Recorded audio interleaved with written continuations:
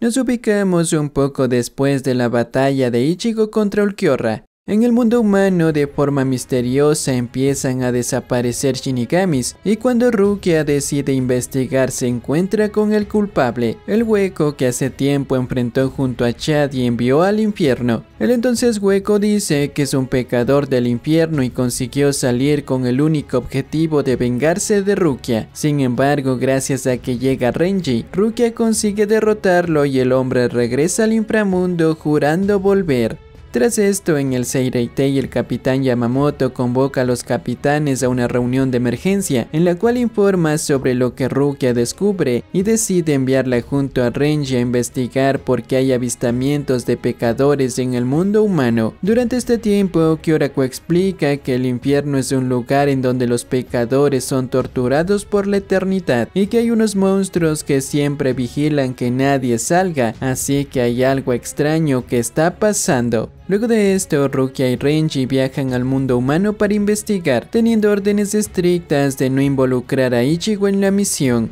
Mientras tanto, al infierno llegan los espadas, Ayla, Porro y Aroñero, quienes se ven frente a cuatro pecadores, el líder del grupo Shuren, Taikon, Gunjo y Garoi Freedom. Este grupo fácilmente derrota a los Arrancar y Shuren menciona que como pensaba, sus poderes no son suficientes para cumplir su plan, así que buscará a Ichigo Bienvenidos camaradas a Dojo Taku. Hoy traemos el resumen de la cuarta película de Bleach, Hellverse. En este resumen incluimos el capítulo prólogo de la película, el 299. Como siempre, gracias a los miembros del canal por su apoyo. Y ahora sí, si dejaron un like y se suscribieron, continuemos con el resumen.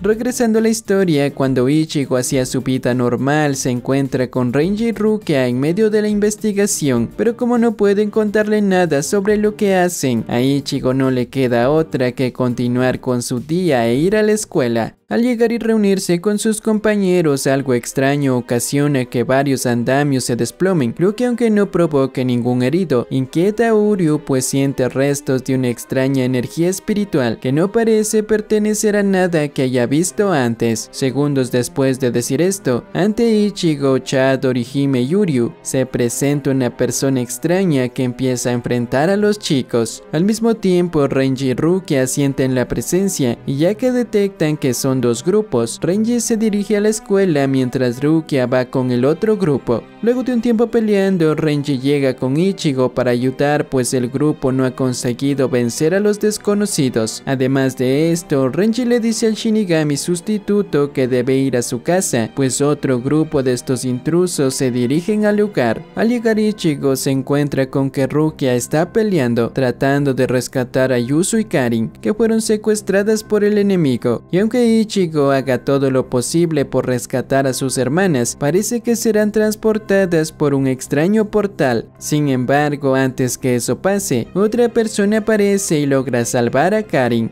Con la ayuda de este hombre, Ichigo se dispone a salvar a Yusu, sin embargo no logran hacerlo y la chica es secuestrada. Además de esto, Chad quien llega para ayudar termina siendo herido al proteger a Rukia y Karin. Mientras tanto, el grupo de Renji consigue romper la máscara de uno de sus atacantes, lo que ocasiona que las puertas del inframundo se abran y lleven al hombre. Tras esto, el grupo desconocido se retira. Luego de esto, todos se reúnen para hablar con el hombre que ayudó a Ichigo. Él se presenta como un pecador del infierno llamado Kokuto. Kokuto menciona que su intención no era ayudar a Ichigo, sino más bien frustrar los planes de las otras personas que también son pecadores. A pesar de esto, Ichigo le pide al hombre que lo lleve al inframundo para rescatar a su hermana, cosa que Kokuto dice poder hacer y acepta, pero le advierte que no tendrá mucho tiempo, pues el aire del infierno es altamente tóxico para los humanos normales, así que Yusu podría morir muy pronto. Es así que teniendo el tiempo en contra, Ichigo, Renji, Rukia y Yuryu se adentran en el infierno para salvar a Yusu. Al entrar en el infierno ya que Kokuto dice saber en dónde puede estar Yusu, conduce al grupo, el cual debe sortear a los guardianes del inframundo que según Kokuto si llegan a tocarlos, se convertirán en pecadores como él, quedando atados al infierno. Además de esto, Kokuto explica que los pecadores no pueden morir, pues cuando son eliminados vuelven a regenerarse para continuar un ciclo de sufrimiento y agonía. Esto hace que las personas vayan perdiendo la cordura, por lo que la mayoría únicamente se mueven como zombies sin emociones.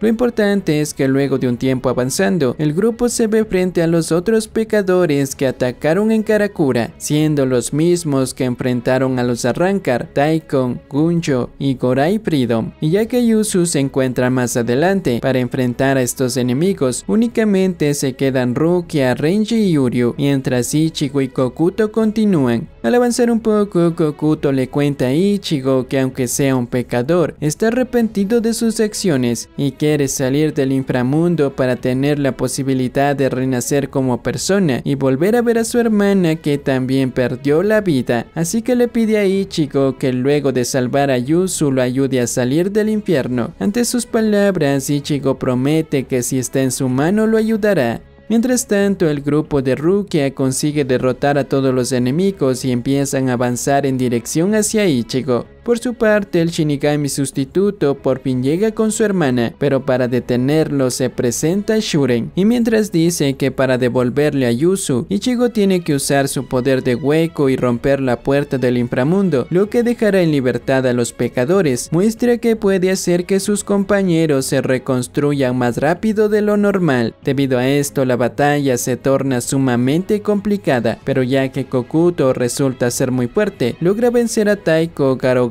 y se lleva consigo a Gunjo cayendo a una fosa de lava ardiente de donde se reconstruyeron los pecadores. Este sacrificio le permite a Ichigo pelear mano a mano con Shuren, a quien logra derrotar luego de usar su huecopicación y cuando estaba por llegar con su hermana, la espada de Kokuto le atraviesa el pecho. Luego Kokuto sale de la lava y revela que ha estado manipulando a los otros pecadores para conseguir llegar con Ichigo, pues quiere salir del infierno a toda costa, ya que cree no merecer estar ahí, pues solo se volvió un asesino luego de que alguien matara a su hermana. Kokuto también menciona que luego de ver el poder de Ichigo en estado hueco, concluyó que con ese poder podrá salir y por eso difundió la idea de escape por el infierno para que el resto de pecadores actuara. Tras decir esto, Renji, Rukia y Uryu llegan para ayudar, sin embargo todos son derrotados en un instante por Kokuto. Luego el hombre muestra que Yusu tiene una cadena en su pecho, lo que quiere decir que ha empezado a ser considerada una pecadora. Esto hace que Ichigo se deje dominar por la ira, lo que sumado al aura del infierno hace que se transforme en hueco y pierda el control. Con esta transformación Ichigo logra rescatar a Yusu, pero también empieza a romper las cadenas de Kokuto con ceros, siendo este el objetivo de Kokuto, pues librarse de las cadenas es la única forma de escapar del infierno. Además de esto, Ichigo en su descontrol rompe parte de la puerta del inframundo, lo que hace que la energía del infierno empiece a filtrarse en Ciudad Karakura.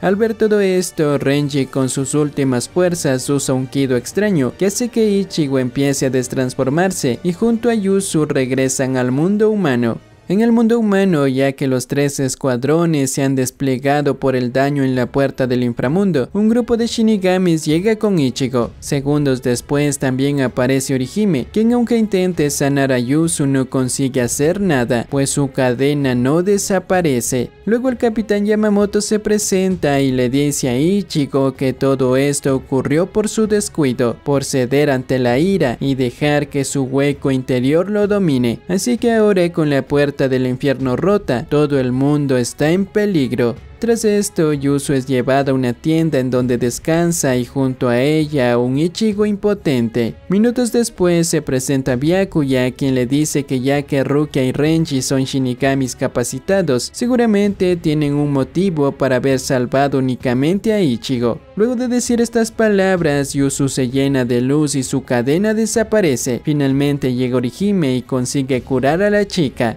Horas más tarde, Orihime e Ichigo llevan a Yusu a su casa, en donde Ichigo le dice a Orihime que regresará al infierno para rescatar a sus amigos y que pase lo que pase, no se transformará en hueco. Ante sus palabras, Orihime le pide que jure que volverá, cosa que Ichigo promete. Luego de esto, Ichigo acude a la puerta hacia el infierno en donde varios shinikamis que reconstruyen la puerta tratan de detenerlo, pero con la aparición de uno de los monstruos del inframundo no pueden hacerlo, por lo que Ichigo entra y baja hasta encontrarse con Kokuto. Al ver a Ichigo, el hombre le muestra que sus compañeros han empezado a ser considerados pecadores, siendo la más afectada Rukia quien incluso renace de la lava. Luego de mostrar esto, la pelea empieza, batalla que por más que se esfuerce, Ichigo no consigue superar, lo que ocasiona que poco a poco empiece a ser dominado por su hueco interior. Sin embargo, logra resistirse, pero justo en ese momento una mano de uno de los monstruos del inframundo lo aplasta. Esto contrario a lo que Kokuto creía, impregna a Ichigo con una luz, la cual le da una nueva apariencia, siendo según palabras de Ichigo, el poder del propio infierno, quien decidió ayudarlo a detener a Kokuto. Con este nuevo poder Ichigo elimina las cadenas de sus amigos y también la de Kokuto, quien creyendo que está libre empieza a reír. Sin embargo, cientos de cadenas lo atrapan y se lo llevan hasta el fondo del infierno.